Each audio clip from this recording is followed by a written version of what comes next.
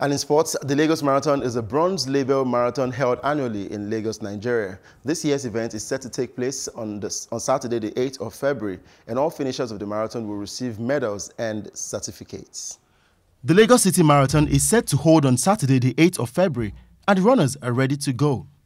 A press briefing was held at the Teslim Balogun Stadium, the starting point for the marathon, and the organizers believe this edition will be way better than the previous ones.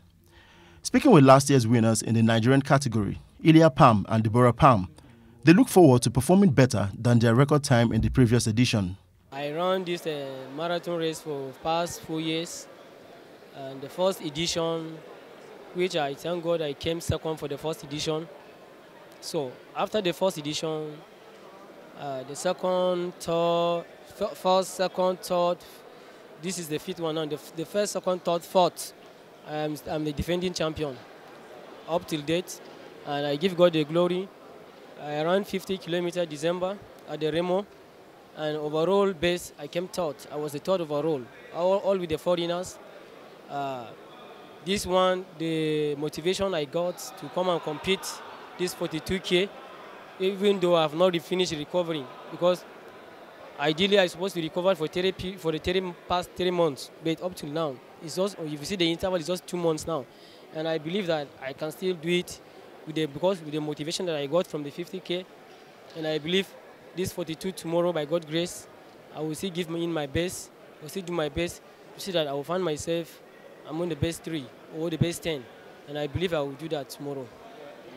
What I want you people to expect from me is by the special grace of God, I will still maintain my position or it's either I will go forward. Among the first three, I'm expecting you guys to see me by the special grace of God.